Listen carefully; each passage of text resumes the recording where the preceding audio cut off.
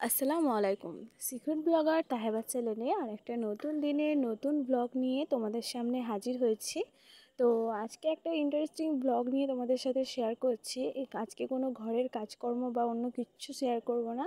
আজকে আমরা যাব বিয়ে বাড়ি। তো বিয়ে বাড়ি যেহেতু আমাদের তিন দিন ধরে হয়, তো তিন দিনের ব্লগ আজকে তোমাদের আমি একদিনে শেয়ার করব মানে একটা ভিডিও শেয়ার করব। তো ভিডিওটা দেখো, আশা করছি তোমাদের একটু হলেও ভিডিওটা ভালো লাগবে। আর আমাদের যেহেতু বিয়ের আগের দিনকে থালের যে রিচু মানে যে অনুষ্ঠানটা হয় সেটা ছিল, তো আমরা সেদিনকে সন্ধেবেলাতেই সবাই মিলে আমাদের বাড়িতে চলে এসেছিল। আমার আরও পিসিরা, পিসির মেয়েরা, বড় মারা, তো সবাই মিলে আমরা কিন্তু একটা গাড়ি ভাড়া করেছিলাম। তো গাড়ির ড্রাইভার কিন্তু অবশ্যই আমার হাজব্যান্ড ছিল আর আমার ছেলের তো মজা দেখেইছে যখন গাড়িতে এসেছে। তো সবাই মিলে আমরা চলে গিয়েছিলাম। তারপর ওখান থেকে দিদিদের ঘরেও কিন্তু আমরা নিয়ে নিয়েছিলাম। আর দিদিরা কিন্তু অন্য গাড়ি করে গিয়েছিল। তারপরে গিয়ে আমরা সন্ধ্যেবেলায় সবাই মিলে একটু বসে তারপরে কিন্তু আমরা নাস্তা করে নিলাম।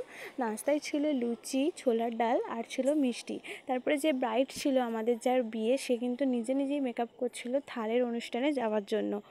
আর আগের ভিডিওতেই তোমাদের সাথে শেয়ার করেছিলাম যে মামার বাড়ি থেকে থালটা গেছে, তো এই থালটাই কিন্তু আমরা দিয়েছিলাম ওকে।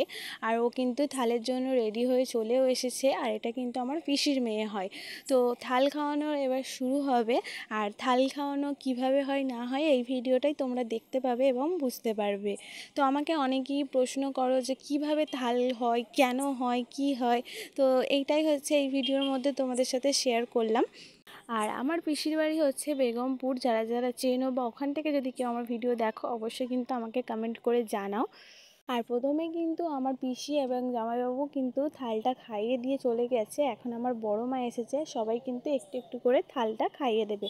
আর ওই যে পাশে দাঁড়িয়ে আছে, ওটা হচ্ছে ওর ভাই। আর এই থাল খাওয়ানোর সময় কিন্তু অনেক মজা হয় এবং অনেক এনজয় হয়, যেটা আমরাও করেছিলাম। তো বেশিক্ষণ আমরা আমি থাকতে পারিনি, বাকি সবাই কিন্তু বাড়িতেই ছিল, আমি হাজব্যান্ড আমার ছেলে কিন্তু রাত্রিবেলা আবার আমরা বাড়ি চলে এসেছিলাম। আর আমাদের বাড়ি থেকে কিন্তু এটা অনেকটাই দূরে। তারপরেও আমরা যেহেতু গাড়ি ভাড়া করে গিয়েছিলাম, তাই গাড়িটা রাখার মতন অবস্থায় ছিল না, তাই আমরা কিন্তু বাড়ি চলে এসেছিলাম। বিয়ের দিন আবার কিন্তু আমরা গিয়েছিলাম। আর এখানে কিন্তু অনেকেই সবাই একে একে থাল খাইয়ে দিয়ে গেছে। কিন্তু আমরা আমি, আমার দিদি বা আমার বোন আমরা কিন্তু থাল খাওয়াতে যাইনি। আর আমাদের না ভীষণভাবে লজ্জা লাগে এই থাল খাওয়াতে গেলে। আর আমি যেহেতু কোনো দিন কাউকে খাওয়াইনি, তাই আজকে ওকেই খাওয়ালাম না। তো যাই হোক, ওর ভাই এসে ওকে খুব একটু রাগাচ্ছিল। আর বলছিল, তোকে আমি থাল খাইয়ে দু টাকা দেবো। তারপরে কিন্তু আবার অফ ক্যামেরার মধ্যেও পাঁচশো টাকাও দিয়ে গেছে। কিন্তু সবাই, আমি যেহেতু ক্যামেরা করছিলাম, তাই বলছে, তুমি আমাকে ভালো করে দেখাও যে আমি ওকে দু টাকা দিচ্ছি। তো তারপরে সবাই একে একে থাল খাইয়ে দিল, তারপরে কিন্তু আমরা ওখান থেকে বেরিয়ে এসেছিলাম। স্বর্ণাস কিচেন অ্যাকাউন্ট থেকে আমাকে কমেন্ট করেছে, আপু খুব সুন্দর ফ্রাইড রাইসের পিঠা তৈরি করলেন, সব মিলিয়ে দারুণ লাগল। তো thank you thank you so much আমাকে এত সুন্দর একটা কমেন্ট করার জন্য, তোমরা এইভাবেই কিন্তু আমার পাশে থেকেও আমাকে সাপোর্ট করো। আর এটা হচ্ছে ওর ছোট বোন, যে এখন থাল খাওয়াচ্ছে। তারপরে কিন্তু মা গেছে, আমার মাও কিন্তু সেম একই, কাউকে কিন্তু কোনো দিন থাল খাওয়াই না। আমরা থালের রিসেপশন মানে অনুষ্ঠানে যাই, তারপরেও কিন্তু আমরা থাল খাওয়াই না কাউকে।